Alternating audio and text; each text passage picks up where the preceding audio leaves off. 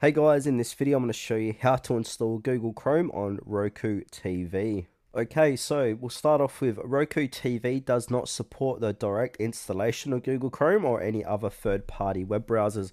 However, you can still access Chrome on your Roku TV by casting or mirroring it from another device. So there's a couple of different methods we can try. So the first method, we can cast Google Chrome from a Windows PC. So if you have Google Chrome installed on your Windows PC, you can cast it to your Roku TV. So in order to do this, ensure both your PC and Roku TV are connected to the same Wi-Fi network.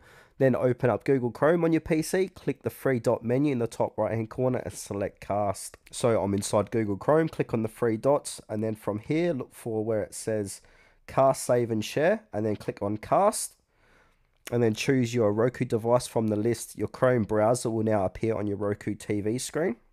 And now the other way what we can do is screen mirror from an Android device. So Android devices can mirror their screens to Roku TVs, enabling you to use your Chrome on your TV. Now in order to do this, ensure your Android device and Roku TV are on the same Wi-Fi network. On your Android device, go to settings, connect device's cast, enable the wireless display option, then select your Roku device from the list. Then open up Google Chrome on your Android device and it will now be mirrored on your Roku TV.